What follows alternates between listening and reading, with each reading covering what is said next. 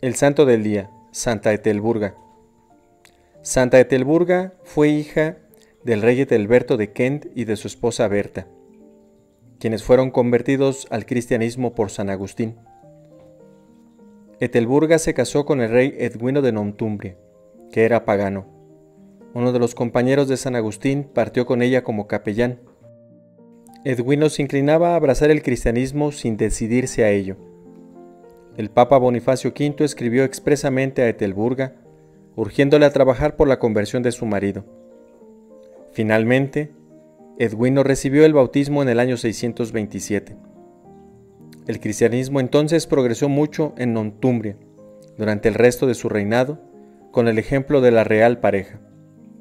Pero después de la muerte de Edwino, los paganos invadieron el reino. La reina y San Paulino tuvieron que volver a Kent, donde Santa Etelburga fundó la abadía de Liminge y la gobernó hasta su muerte. Santa Etelburga, ruega por nosotros, sea para mayor gloria de Dios.